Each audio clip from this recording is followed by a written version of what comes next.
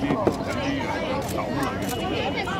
啊嗱，啲啲肥咧唔好接觸到啲豆嗰啲嗰啲根，咁佢夾住一夾，所謂撳着佢，然後咧即係兩粒嚟撳，因為你一盤咧到最後種得一粒，等佢兩棵出咗嚟之後，你睇邊棵好，保留邊棵，另外一棵掹咗，然後咧你落手。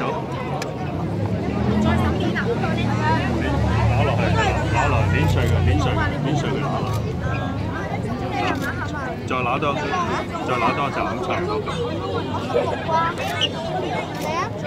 OK，撳下佢。攞拳頭揸拳頭，揸拳頭咁樣，係咁啊最好辦法，係咪？嘅。